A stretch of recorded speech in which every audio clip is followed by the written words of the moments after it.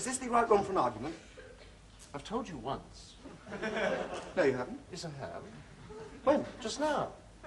No, you didn't. Yes, I did. Didn't. I did. Didn't. I'm telling you, I did. You did not. Oh, I'm sorry. Is this a five-minute argument or the full half hour? Oh, oh, just the five-minute one. Fine. Thank you. Anyway, I did. You most certainly did not. Now, let's get one thing quite clear. I most definitely told you. You did not. Yes, I did. You did not. Yes, I did. Didn't. Yes, I did. Didn't. Yes, I did. No, this isn't an argument. Yes, it is. No, it isn't. It's just contradiction. No, it isn't. Yes, it is. It is not. It is. You just contradicted me. No, I didn't. Oh, you did. No, no, no, no, no, no. You did just then! No, no, nonsense. Oh, look, this is futile. No, it isn't. I came here for a good argument. No, you didn't. You came here for an argument. Well, an argument's not the same as contradiction. Can be. No, it can't. An argument's a connected series of statements to establish a definite proposition. No, it isn't. Yes, it is. It isn't just contradiction. Look, if I argue with you, I must take up a contrary position. But it isn't just saying no, it isn't. Yes, it is. No, it isn't. Argument's an intellectual process. Contradiction is just the automatic gainsaying of anything the other person says. No, it isn't. Yes, it is. Not at all. No, look. I... Thank you.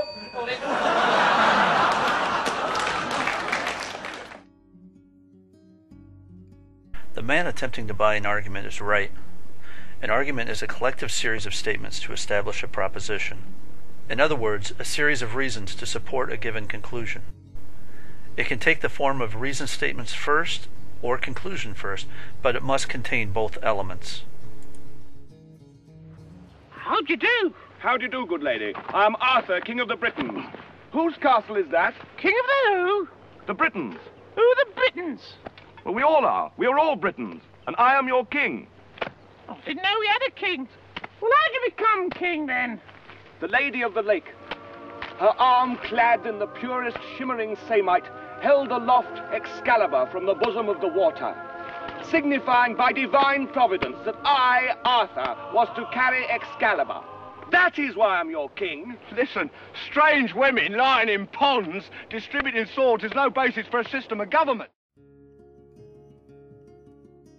Even though Arthur's argument was well formed, with the reason supporting his assertion of authority being stated, the argument fails to convince the peasant. This is due to underlying flaws in his argument.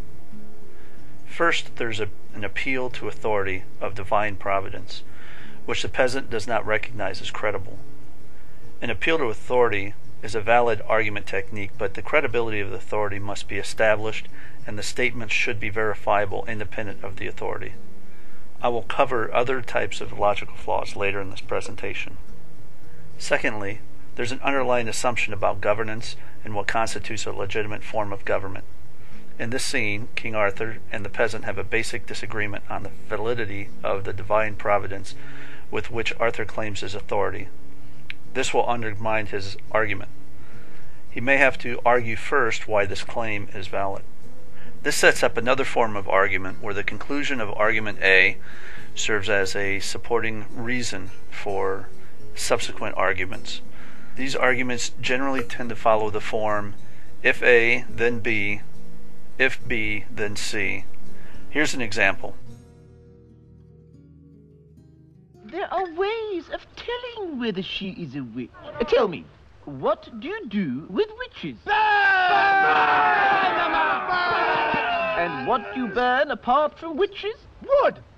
So, why do witches burn? Because they're made of wood. Good. Oh, yeah. so, how do we tell whether she is made of wood? Uh, does a wood sink in water? No, no. No, it floats.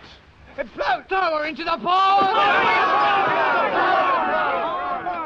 What also floats in water? Bread. Apples. Uh, very small rocks. Cider. A great gravy. Cherries. Mud. Uh, churches. Churches. Lead. Lead. A duck. Exactly. So, logically, If she weighs the same as a duck, she's made of wood. and therefore, A witch! A witch!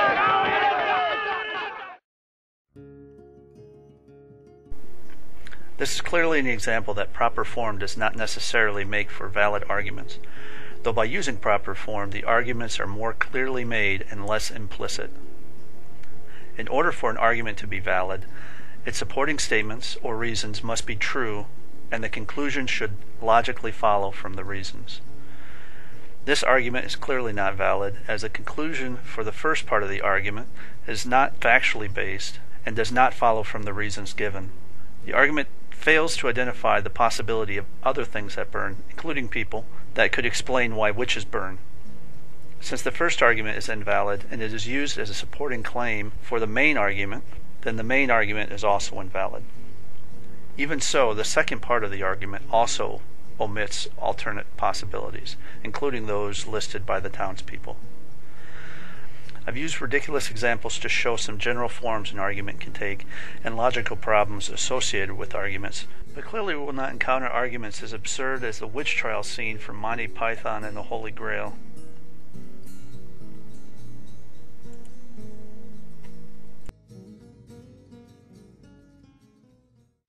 I don't know, not having been there and not seeing all the facts, what role race played in that. But I think it's fair to say, number one, any of us would be pretty angry. Number two, that the Cambridge police uh, acted stupidly in arresting somebody when they, there was already proof that they were in their own home.